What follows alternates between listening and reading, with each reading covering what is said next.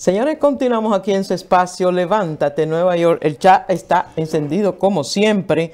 Eh, dice Heidi Oleaga para ti, buenos días al mejor programa de Nueva York. Veridania Recio dice buenos días familia. Daniel Peralta ya dijo excelente expositor. Así es que estamos aquí, señores, con otro diálogo. Estos eh, diálogos son dos, ah, somos, somos tres, tres chicas ahora. Vamos a recibir en los estudios de Levántate Nueva York, a darle la bienvenida a Andrea Pérez. Ella es la presidenta del Partido Revolucionario Dominicano aquí en Nueva York. También tenemos en los estudios a Miguelina Faña, secretaria general de la seccional de Nueva York del Partido Revolucionario Dominicano y vocera de la Alianza Rescate RD. Chicas, buenos días, bienvenidas. Buenos días, Roby.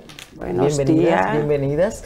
Cuéntenos, estuvimos eh, en esa reunión, en esa encuentro con la prensa que ustedes tuvieron el fin de semana pasada, el domingo específicamente, donde se, se hizo denuncias fuertes y que ha causado un impacto afuera ante diferentes organismos y queremos que nos hablen qué fue lo que pasó, qué fue lo que dijeron ustedes ahí. Sí, buenos días, levántate New York. Eh, Provi, quiero darte las gracias a ti, a mi amigo Rafael, por permitirle a la licenciada Andrea Pérez, presidenta de nuestro partido aquí, PRD, en estar aquí hoy con ustedes. Sí, fíjate, la denuncia mayor en el documento que se elaboró consensuado en nuestro partido fue, obviamente también con unirse de la presidenta nuestra aquí, fue el siguiente, que la Junta Central Electoral aquí en la ciudad de Nueva York todavía no tiene la información de los recintos donde el elector tiene que ejercer el derecho al voto. No se han enviado las cartas. Todavía faltan recintos. ¿Qué tipo de cartas? Siempre ellos mandan las cartas para anunciarle al elector dónde le toca votar. Y estamos a ley de 28, 29 días. Un mes exacto. Un mes, un mes exacto, exacto. Y si le quitamos los fines de semana, faltan menos. Entonces, eh, el tiempo es corto para el proceso.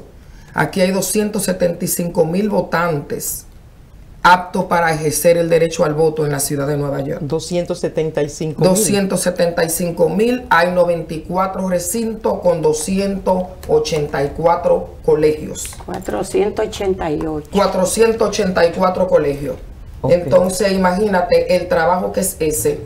No tan solo para la Junta, sino para nosotros, los partidos políticos que tenemos que hacer el llamado a todos nuestros eh, seguidores para anunciarle dónde le toca votar y todavía no tenemos eso en la mano. O sea, ustedes tienen, eh, deben tener un registro que llega directamente y no lo tienen, no le Nosotros tenemos un padrón de nuestro partido y estamos trabajando en base al padrón que nos envió el partido nuestro.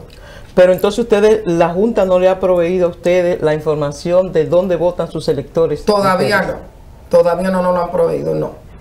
Déjeme decirle eh, muy buenos días, Providencia y Rafael. Muchas gracias por habernos invitado en este día.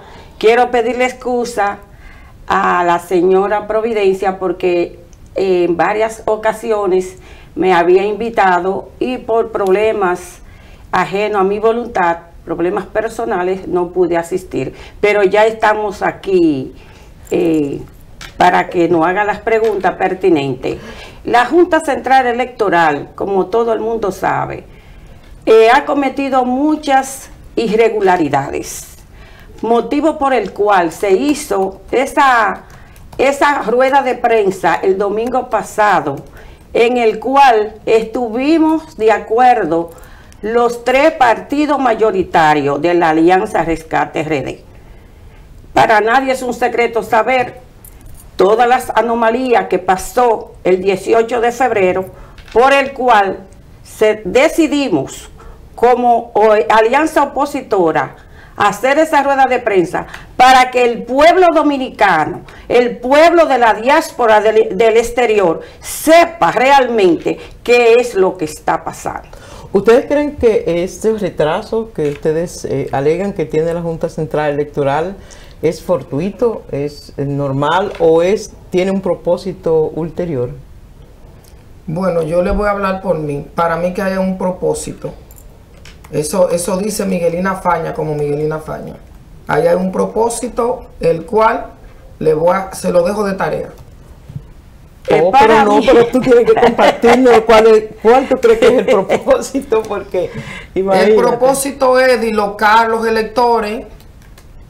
Estamos en una ciudad donde la gente va a ejercer el voto, no por compromiso, sino por un deseo propio.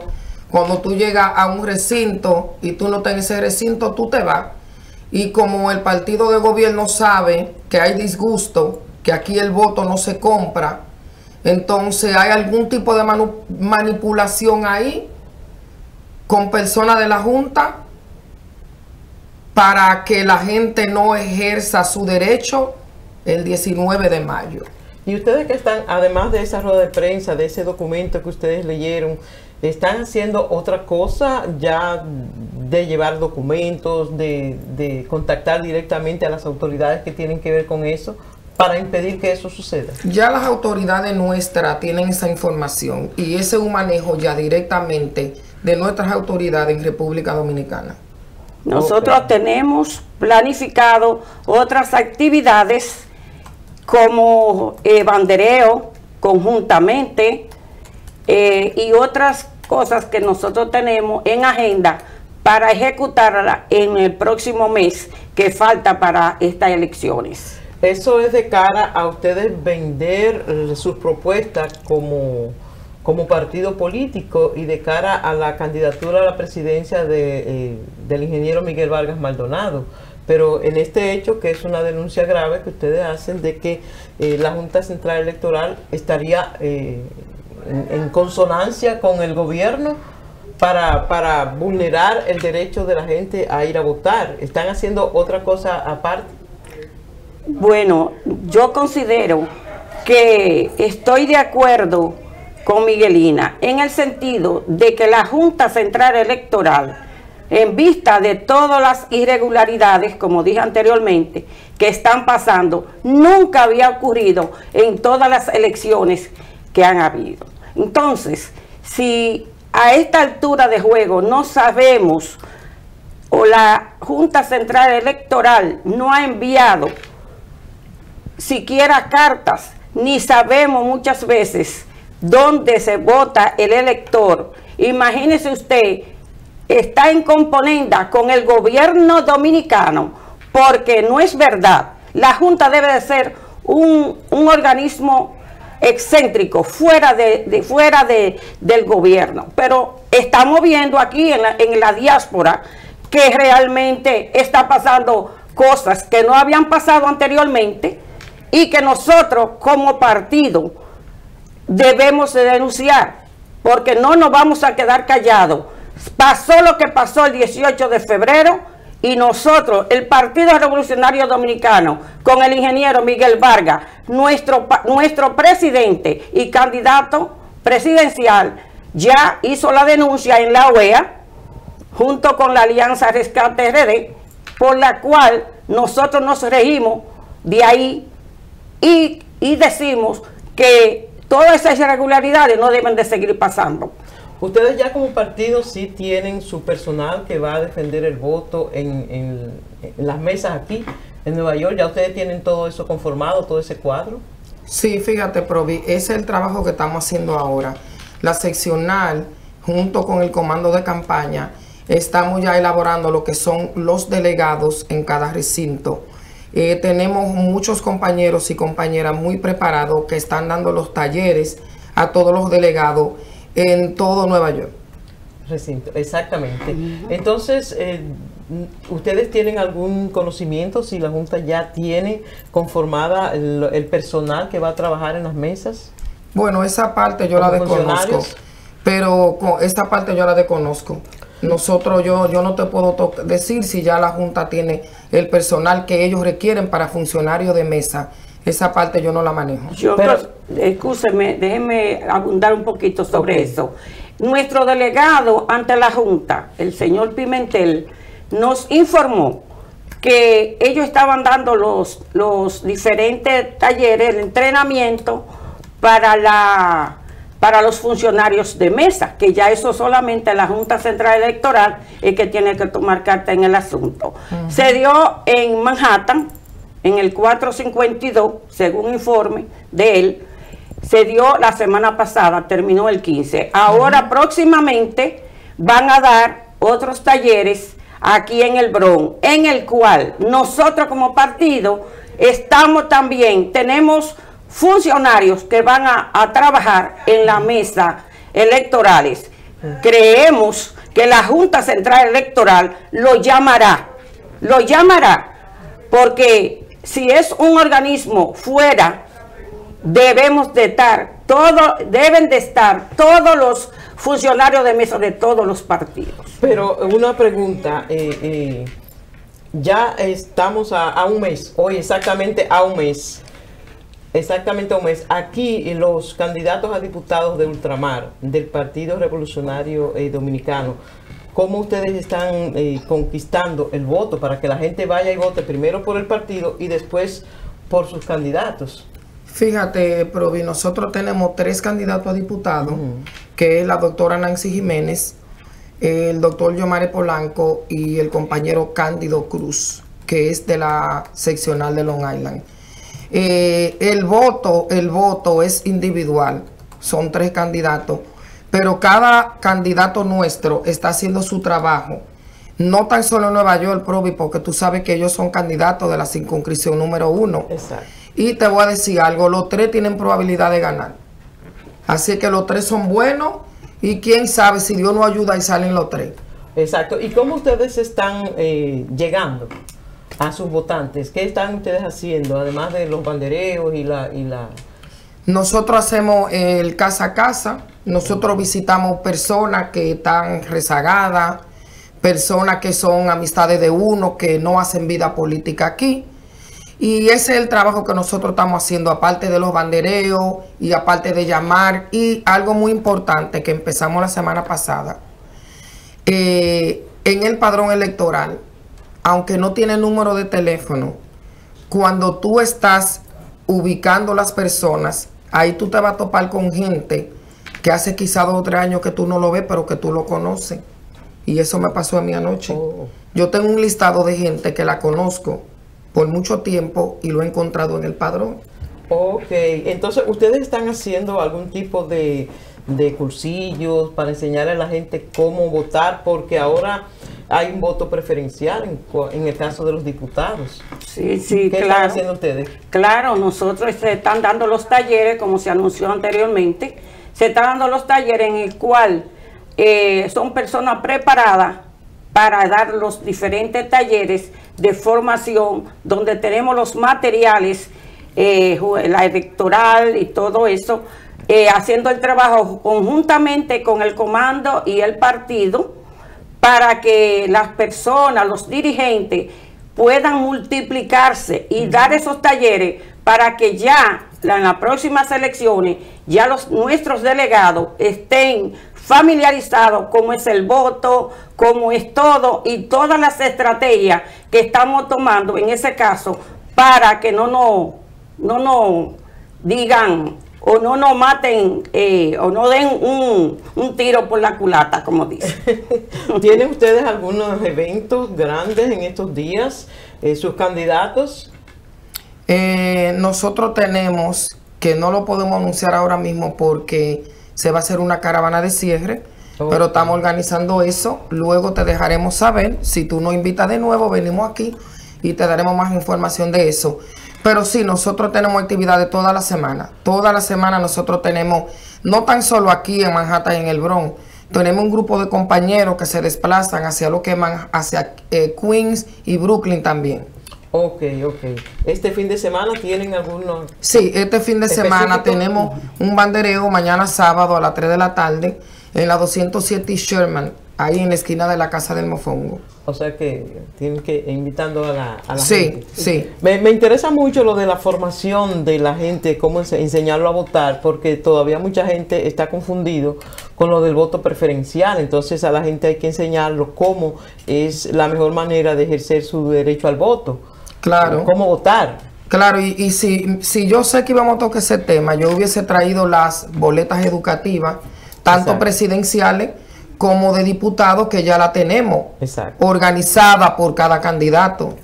Porque en República Dominicana eh, eh, son tres boletas a, B y, C. Aquí son dos. Aquí son dos boletas solamente. Dos. Que solamente son las de diputado y la de presidenciales. Sí. Pero que mucha gente está confundido con lo del voto preferencial por los diputados. Nos gustaría que, tú le expliques un poquito a la gente cómo es el voto preferencial. Eh, las boletas, como dijo Provi, viene una de diputado y otra de presidencial.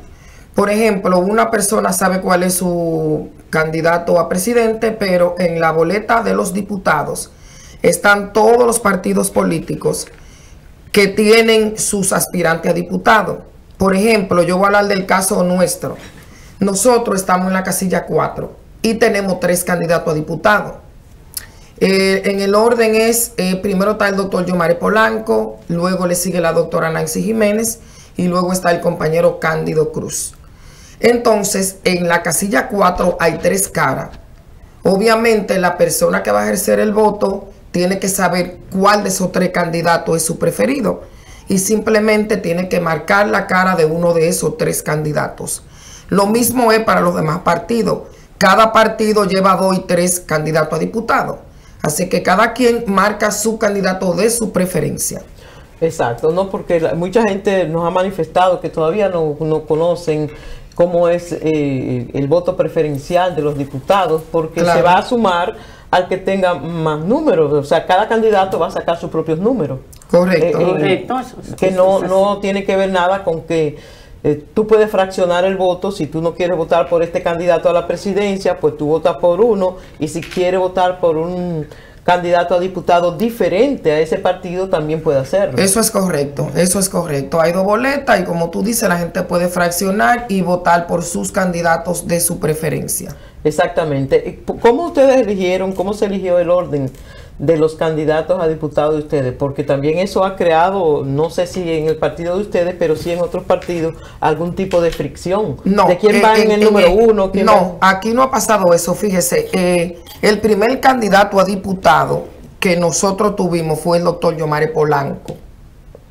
Fue el doctor Yomare Polanco. Entonces, como ya él fue el primero consensuado con nuestras autoridades en República Dominicana, él quedó en número uno. Ahora bien, los demás fue por el voto que se hizo por llamada. Quien sacó más votos entre la doctora y Cándido lo pusieron así. Por eso la doctora está en segundo y Cándido está en tercero. Exacto, Eso fue lo que pasó. Nosotros se hizo encuesta vía telefónica para elegir los otros dos candidatos. Y eh, déjenme abundar un poquito sobre eso, por favor. Sí. Eh, nosotros, eh, por ejemplo, tenemos tres candidatos de la circunscripción número uno como Miguelina anunció, eh, el, voto es preferencial, o sea, cada candidato debe de buscar su propia gente para que voten por ese candidato. Ese es el voto preferencial. Cada quien tendrá su candidato y buscará, cada candidato tiene que buscar su propia gente para que pueda ganar. Nosotros tenemos la esperanza de que sí eh, podemos ganar las tres candidaturas aquí en la ciudad de Nueva York, en la circunscripción número uno específicamente. Pero quiero decirle que si han sucedido cualquier altercado, cualquier cosa que quizá ha llegado a oído de ustedes, los periodistas, eso nosotros no tenemos nada que ver con eso. Y y ni siquiera el Partido Revolucionario Dominicano ha tenido que ver con eso, porque ya eso es cuestión de la Junta Central Electoral. Que quede claro eso, porque eh, el partido a nivel nacional con, el ingeniero Miguel Vargas no ha tenido nada que ver en qué posición quedaron cada uno de los candidatos. Eh, exactamente. Tú sabes que los partidos políticos tienen un voto duro y es eh, la gente que son sus su gente de toda la vida, que son un voto duro. Pero entonces, ¿cómo ustedes están haciendo para conquistar a esas personas que no tienen un partido político? Que no tienen un partido, sino que el día de las elecciones van y deciden por el que ellos quieran. ¿Cómo ustedes captan a esas personas que no son de ninguno de los partidos políticos? Bueno, Provi, la, la mejor manera es que la gente sepa lo que está pasando en República Dominicana. Porque cuando tú le dices a una persona que no hace vida política, pero que puede ejercer el derecho al voto aquí, y tú te acercas a ellos y tú le dices cómo está la comida en República Dominicana, cómo está la canasta familiar, cómo está el dólar, cuánto tú mandabas hace tres años, cuatro años, cuánto tú tienes que mandar ahora, cómo está la delincuencia en tu provincia, cómo, cómo está la educación, la medicina, los hospitales, y ya ellos cogen de ahí. Esa, esa es la mejor manera, ponerle el ejemplo de lo que está pasando en nuestra querida República Dominicana. Pero entonces, ¿tú crees que lo que está pasando allá puede influir aquí? Porque el voto del dominicano aquí en el exterior es diferente, porque no se puede comprar con mil pesos, tú no puedes influenciarlo de otra manera. El voto de aquí es un voto duro. El voto de aquí es lo que representa lo que está pasando en República Dominicana. Aquí la gente no se vende. Así que lo que pase aquí es un mensaje para, para República Dominicana. Y yo te aseguro a ti, yo quiero que tú me invites después que pasen las elecciones. Claro que sí. Que tú me invites y yo te voy a decir a ti, te lo dije. El PRM no gana en esta ciudad de Nueva York. Y además, nosotros tenemos que, que eh, tenemos es el sector externo que pertenece al PRD. Como su nombre lo indica, externo. Quiere decir que esas personas que están indecisos, la persona encargada del, del sector externo está haciendo su trabajo en el sentido de buscar esa persona. Además, nosotros tenemos un voto duro en el cual están nuestros familiares, nuestros amigos y esa persona le podemos asegurar a usted en el día de hoy que nosotros lo vamos a llevar a votar. Y que tenemos un conglomerado de personas que solamente porque es Miguelina o es porque es Andrea van a votar por el candidato que nosotros le vamos a decir, que en este caso son el ingeniero Miguel Vargas en la boleta número 4 del PRD y nuestros tres candidatos de la de diputados de Ultramar en cada uno de las en cada uno de esas circunscripción número uno. Así que nosotros estamos haciendo el trabajo y usted puede asegurar que nosotros aquí en la ciudad de Nueva York vamos a ganar. Señores, eh, chicas, damas, ya el tiempo se nos ha terminado. Eh, agradecer inmensamente su participación el día de hoy aquí en Levántate New York. La invitación está para antes de, de las elecciones o después, eh, como ustedes prefieran, aquí las esperamos. Gracias. Un mensaje. Por favor. Vota 4, Miguel Vargas Maldonado, presidente. Y muchas gracias, Providencia, Rafael, por habernos invitado. Eh, nosotros estamos a la disposición de que cada vez que ustedes nos inviten, venir aquí, porque ese es nuestro deber. Así. Y quiero decirle un mensaje, los invitamos a todos los dominicanos de aquí y de allá a que voten el próximo 19 de mayo en el, por el PRD, por el Partido Blanco, en la casilla número 4. Señores, gracias. Buen día y gracias. Gracias a Andrea Pérez, gracias a Miguelina Faña por estar con nosotros aquí en Levántate New York. Ahora les invito a que hagamos una brevísima pausa y enseguida Regresamos con el resto del contenido de su espacio Levántate, Nueva York.